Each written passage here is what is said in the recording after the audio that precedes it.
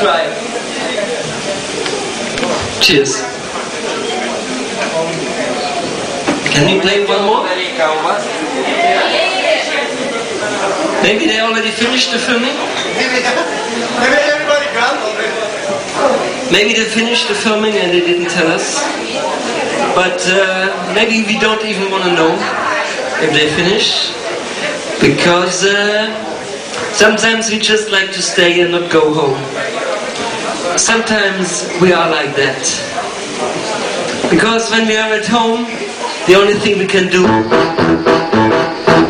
is to put on the TV and watch some crap. And we don't want to do it. So that's why we stay here until the last possible moment.